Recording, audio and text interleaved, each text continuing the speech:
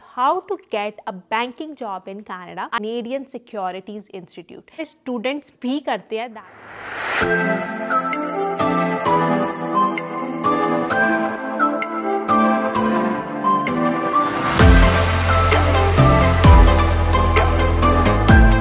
Hello everyone, welcome back to my channel. I hope you're all doing fine and staying safe. My name is Harleen and on this channel I create content about student life in Canada and just about my life.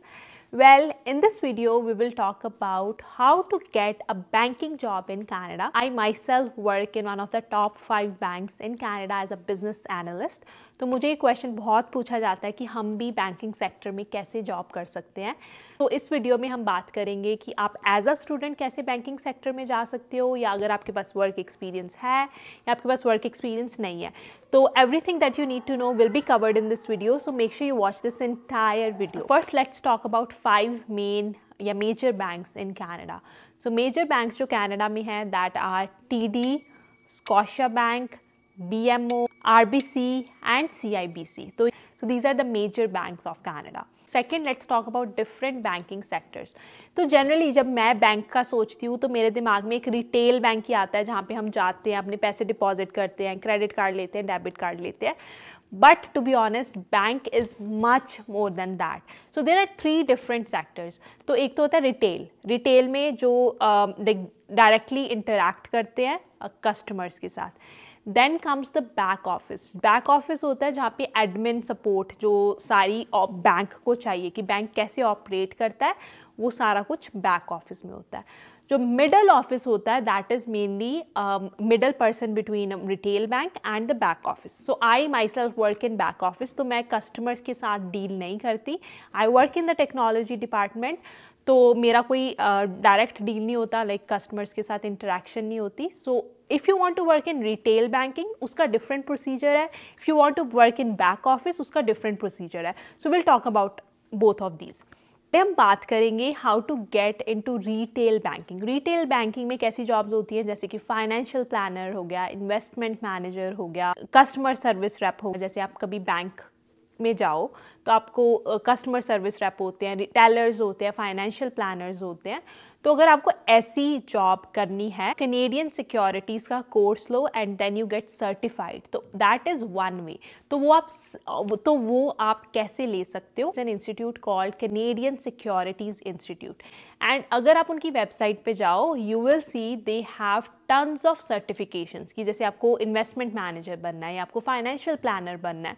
तो different different job titles के लिए different pathway है। मतलब आपको वो courses करने पड़ेंगे, वो सर्टिफिकेशंस क्लियर करनी पड़ेंगी then you get a license and you can directly get a job that is one way second way and जो बहुत सारे स्टूडेंट्स भी करते हैं that is you get hired as a teller teller क्या होता है कि जब आप बैंक में जाते हो, जो आपकी जो फ़र्स्ट इंटरेक्शन होती है जिसके साथ दैट इज़ अ टेलर जो आपको बेसिक बैंकिंग नीड्स में हेल्प करते हैं. तो आप एज अ टेलर हायर हो जाओ बिकॉज़ एज अ टेलर इतनी ज़्यादा हाई रिक्वायरमेंट्स नहीं है। All you need is good interpersonal skills थोड़ा बहुत फाइनेंस की नॉलेज होनी चाहिए। तो they even hire part time part time tellers भी बहुत हायर करते हैं एंड बहुत सारे स्टूडेंट्स एज अ टेलर काम कर रहे हैं। तो दैट इज़ वन वे कि आप पार्ट टाइम टेलर हायर हो जाओ। एंड देन जैसे जैसे आपका लाइक यू नो आप लर्न करना स्टार्ट करते हो, आपको चीज़ें आने लग जाती हैं देन साइड बाय साइड आप अपना सर्टिफिकेशन ले लो एज अ फाइनेंशियल प्लानर आप फाइनेंशियल प्लानर का सर्टिफिकेशन लेके आप फाइनेंशियल प्लानर की पोजीशन में अप्लाई कर सकते हो। तो ये बहुत ही सिंपल वे है। थर्डली अगर आपने कोई भी डिप्लोमा किया है कनाडा में, मान लो फाइनेंशियल प्लानिंग में या कोई भी फाइनेंस के रिलेटेड डिप्लोमा किया है तो आप side by side along with your studies आप इसका कोर्स कर सकते हो, इसका सर्टिफिकेशन ले सकते हो and then you can apply for banking jobs this is how you can get into retail banking retail banking में आप ऐसे डिफरेंट सर्टिफिकेशंस करो whatever pathway you want go for and आप अप्लाई कर सकते हो. Let's talk about if you want to work in back office तो back office में जैसे कि वेल्थ मैनेजमेंट में या ट्रेजरी में या रिस्क मैनेजमेंट में अगर आपको काम करना है तो उसके लिए आपको थोड़े से स्पेशलाइज्ड स्किल्स चाहिए। And for that generally like mostly requirements क्या होती हैं? या तो आपके पास बैचलर्स डिग्री हो डजेंट मैटर अगर आपके पास इंडिया की बैचलर्स डिग्री है दैट ऑल्सो वर्क्स बट आपके पास बैचलर्स डिग्री हो मास्टर्स डिग्री हो, या आपके पास सी एफ़ ए हो एफ़ आर एम हो तो ये डिफरेंट काइंड ऑफ़ डेजिग्नेशन हैं। जो आपके पास होनी चाहिए in order for you to get considered for this role तो उसके लिए थोड़ी स्पेशलाइज्ड स्किल्स आ जाती हैं। जैसे in my case I completed a bachelor's degree in economics तो उसने मुझे बहुत हेल्प किया as a business analyst like business analyst की जॉब लेने में बिकॉज़ मेरे पास बैचलर्स डिग्री थी। दैट डजेंट मीन कि आप, अगर आप डिप्लोमा करते हो तो आप हायर्ड नहीं हो सकते।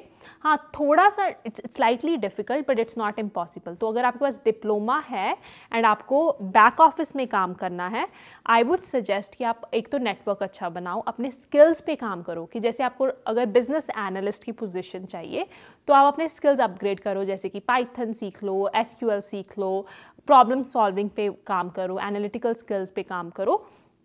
दैट इज़ वन वे ठीक है? That is how generally it works like front office का डिफरेंट प्रोसीजर है बैक ऑफ़िस का डिफरेंट प्रोसीजर है in order for you to get hired students क्या करते हैं? Generally as a customer service rep या टेलर की पोजीशन स्टार्ट कर लेते हैं। तो उसके लिए आपको ऐसा कोई सर्टिफिकेशंस या इतनी हाई एजुकेशन नहीं चाहिए, उसके लिए all you need is good interpersonal skills थोड़ी बहुत बेसिक फाइनेंस की नॉलेज एंड आप अप्लाई कर सकते हो।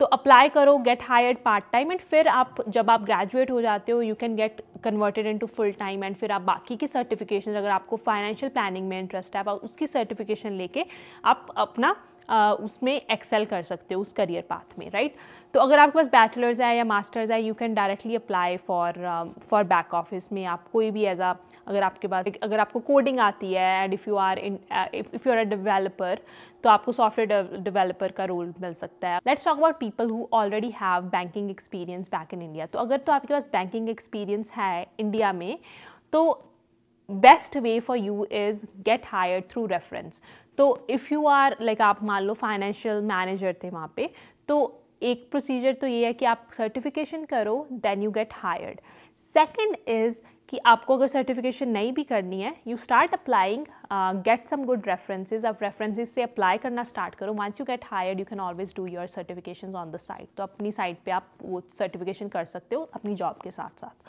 So that is um, that is the best way for you to um, excel in this banking sector. Yeah, that is pretty much it for this video. If you have any questions related to this, let me know in the comment section and I will try to answer those. Make sure you follow me on Instagram because I share a lot of content there and I will see you in the next one. Bye.